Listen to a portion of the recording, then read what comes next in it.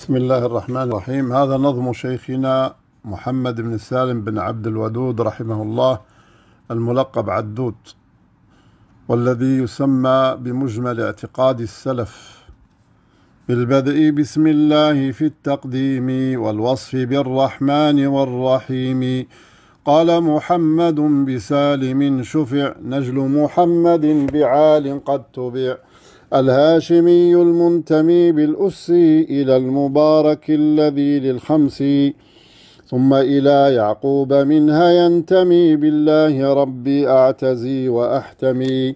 أحمده جل كما ابتداني بنعم ملي بها يداني ثم أصلي وأسلم على محمد وآله ومن تلا.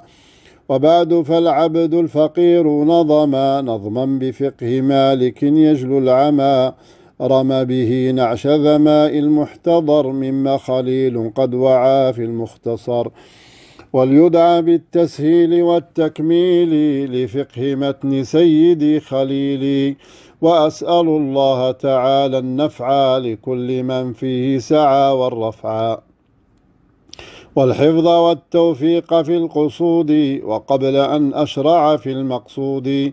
أذكر جملة من العقائد على طريق السلف الأماجد. ولست ذاكرا سوى المتفق عليه من قبل نشوء الفرق مما إليه الأشعري قد رجع متبعا أحمد نعم المتبع. لا ما يقول من لذا أو ذا انتمى زعما ولم يسر على ما رسما العقائد. الله حق أول كان ولم يكن سواه ثم من بعد العدم.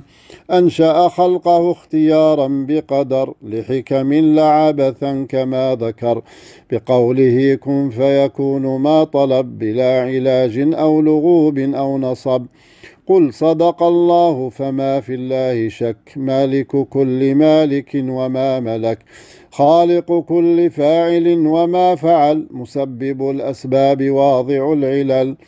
وهو تعالى أحد فرد صمد. ألحد من قال بخلقه اتحد.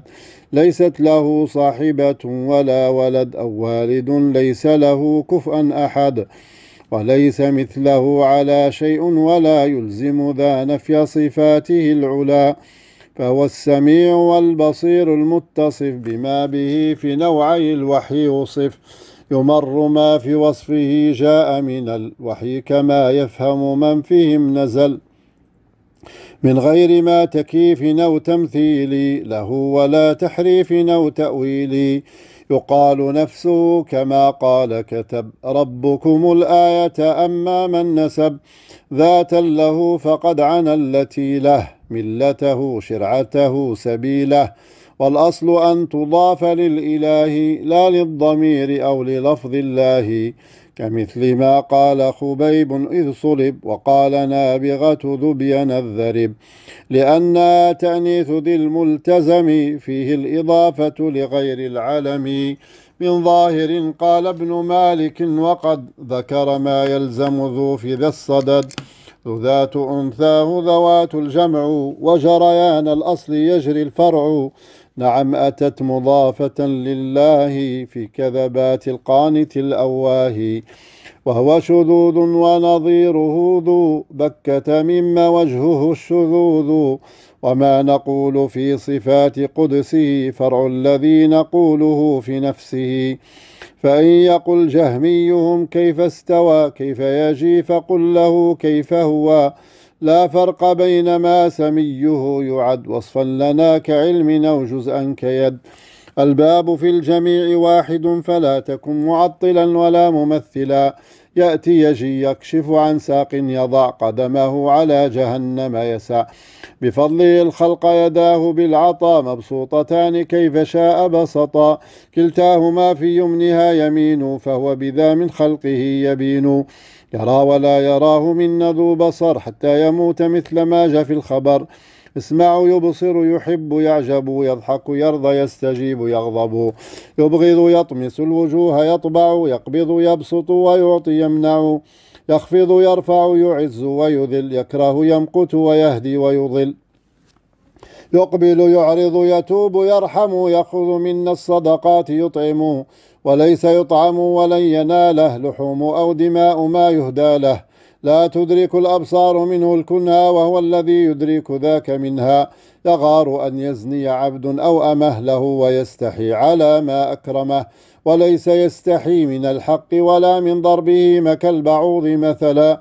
وليس يأذن لشيء أذنه إلى تلاوة نبي حسنه. ولا خلوف فم الصوم الزكي أطيب عنده من المسك الذكي. يفعل ما يشاء لا يستكره وهو بالغ تعالى أمره. فما يشاء فينا يكن لو لم نشا ولا يكون ما نشا ما لم يشاء.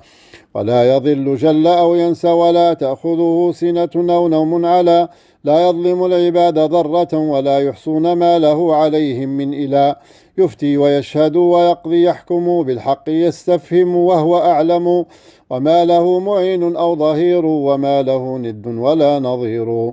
ولم يكن يؤوده حفظ السماء والأرض أو يعجزه من فيهما. لم يعي بالخلق ابتداء من عدم كذاك لا يعيا بإحياء الرمم. يحدث ما يشاء من خلق ومن ذكر فما أحدث من ذكر يقن. أن ليس مخلوقا لأن المحدث الإنزال أما الذكر فهو لم يزل. ألا له الخلق والأمر العطف دل أن ليس خلقا ما من الأمر نزل. بل علم القرآن والإنسان خلقه علمه البيان. ينسخ ينسي ما يشاء يبدل. والله أعلم بما ينزل. ويتكلم متى شاء بما شاء كما شاء لو أن الكلمة مداده البحر بسبعة أمد وشجر الأرض قلام ما نفد ورحمة سكت عن أشياء من غير نسيان على ما جاء. أحاط بالناس وأينما يوى المستقبل فثم وجه الله جل. قد استوى إلى السماء واستوى بعد على العرش بخلف المحتوى. وليس كاستوائنا نحن على الفلك والأنعام بل العرش حمل وحامليه وإلى دنيا السماء. ينزل كل ليلة لمثل ما ينزل مخلوق بإخل حيز منه وشغل حيز فميز. وهو العلي لا تحده جهة ضل المعطلة والمشبهة. قد اصطفى من ملك ومن بشر رسلا فأدوا عنه ما به أمر. والكتب التي على رسل البشر أنزل من كلامه جل فذر. قولهم القرآن قد دل على الكلام أو على الذي الكلام دل. بل بالحروف والمعاني وردا والله بالصوت يكلم غدا. ولا تقل ذا الصوت عن تموج هواء أو تخلخل في يجي. أو حرفه كيفية تحدث له بالضغط جل الله أن نمثله. بقارئ في صوته أو حرفه كل وما لاق به من وصفه. فنحن حين ننشيد الآن قفا. نبكي وقد أودى بمنشيها العفا. لست بمجتر هواء نفثه أو محدثين عين ما قد أحدثه بالضغط من كيفية إذ صرفه ما بين حلق ولهات وشفه. لا تضربوا لله الأمثال ولا تصغوا لمن عطل أو من مثلا كلم موسى بكلامه اتخذ خليلا إبراهيم من أول شذ. فالله لم يسكت على ما أوهما. حدوثا أو نقصا له بل أفهما. مراده بقوله مرضت فلم تعدني وكذا فجعت. أسماؤه الحسنى على الصفات دلت فذلت أوجه النفات. فأثبتوا من وصفه ما السلف أثبت وانف ما نفى ثم قفوا واجتنبوا الشرك الجلي والخفي ولو بما فيه اختلاف السلف. فأفردوه جل بالعبادة لا تشركوا في نوعها عبادة. فلا تسموا ولدا عبد علي أو تنذروا لصالح أو لولي. ولا تمسوا قبرا أو تمسحوا ولا تطوفوا حوله أو تذبحوا. لا تعبدوه بسوى ما قد شرع قد نتقرب بجلب ما نفع أو دفع ما ضر لمخلوق ولا نبلغ ذا من مالك الملك على وبالربوبية وحدوه فهو الذي تعنو له الوجوه. لا تجعلوا إذا دعوتم وسطا بينكم وبينه فهو خطأ. ذلك والإيمان كل قد شمل عقدا بقلب مع قول وعمل. ذلك والإيمان كل قد شمل عقدا بقلب مع قول وعمل. بنية في سنة وبالعمل. زيادة ونقصا المثل احتمل والوحي حق ليس قولا يختلق والكتب حق والملائكة حق والرسل حق والنبي العربي. خاتمهم أعلاهم في الرتب وكلهم أوتي إذ جاء بالبشر ما مثله عليه آمن البشر. وإنما كان الذي الأواه أوتيه وحيا إليه الله. أوحاه فهو أكثر الجماعة متبعا يوم تقوم الساعة. كما رجا كذا من الذي اصطفي به الشفاعة لأهل الموقف.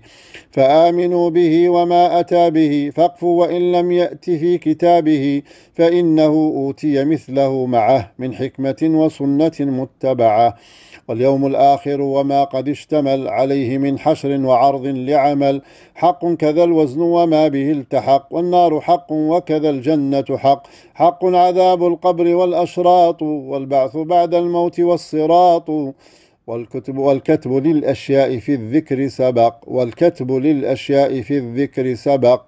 من قبل أن تخلق فهو المنطلق وكل ذا في الذكر جاء في الخبر.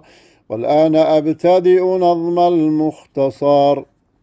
قراءة أخيكم أبي سليمان مختار بن العربي مؤمن الجزائري. وذلك يوم 11 من شعبان 1441 للهجرة الموافق للرابع من إبريل 2020 والسلام عليكم ورحمة الله وبركاته.